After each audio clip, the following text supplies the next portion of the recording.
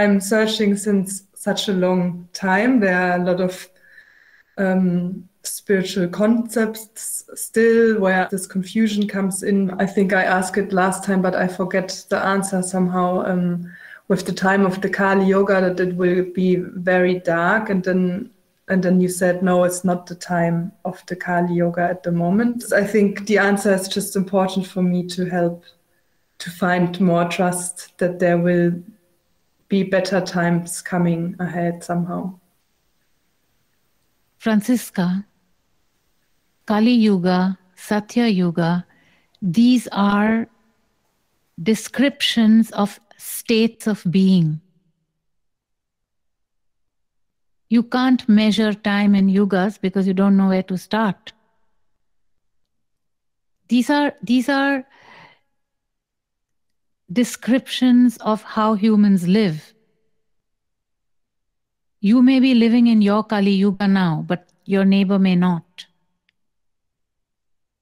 So the idea that there is a, a finite period of time when this happens and then it's replaced by that, by a better time, and then another era appears, this is not the meaning of the yugas. This is a very simplistic description of, of what yugas actually mean. Because there is no beginning and there is no end. The universe has always been and will always be. Big bang this way or that way. Even if there was a bang, it came from somewhere. So there was something before that. So there's no beginning. There's no beginning and there's no end. So the yugas are simply concepts and as you yourself just said, you're living in concepts. You need to let go of the concepts and you need to just feel yourself, feel the soul, feel the source. The concepts of things created by human beings to put meaning into what they couldn't understand,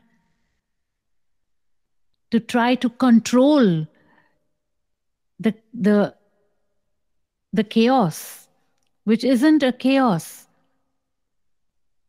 there's a matrix of perfection unfolding in every second. And when you tune in, you can see that unfolding in front of you. You know, you can see it unfolding. So, yes, you're right. Your head is full of too many concepts. As a spiritual seeker, that is part of the, the journey to go through the concepts and to leave them behind. So it's not as if you've wasted any time, you know, you have not wasted time. But it's time to leave that behind because unless you experience it, it is only an idea in someone else's book. And you can only experience it if you take up the sadhana and actually feel the soul and the source. There are very few people in this world who would actually refuse or refute the idea of a of something within themselves that is central to them everyone feels that there is truth in that that yes there is something that is the truth of my being that's all i'm saying And it is not as difficult as one can imagine. It's just one has to leave the spiritual concepts behind. One has to leave all of that stuff behind.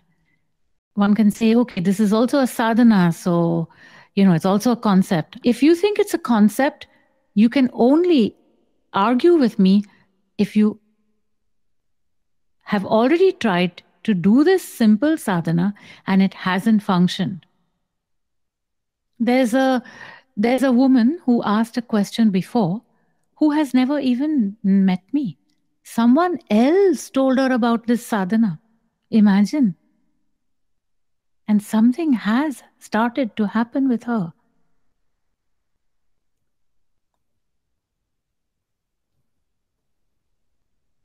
So I feel that you're on a good way and that it's time to also Start to center yourself, go within.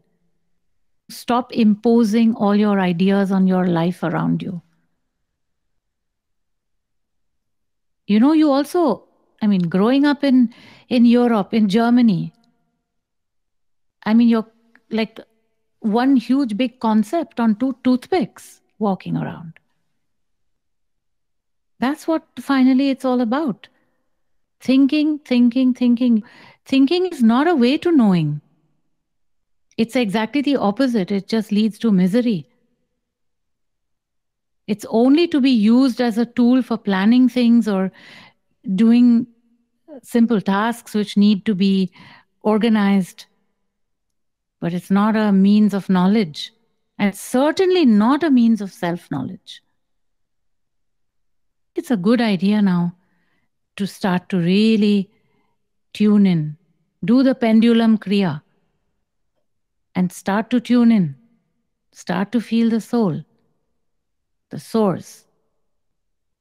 And even if you don't feel anything, at least you're taking a moment to identify where is your action coming from? Is it coming from the loud and clamoring and demanding and insisting and pushing and hoping and wanting and willing and intentioning voice of the ego, or is it that other thing which is just much more quiet and quietly impulsing? So just tune in a bit more. Things will settle down.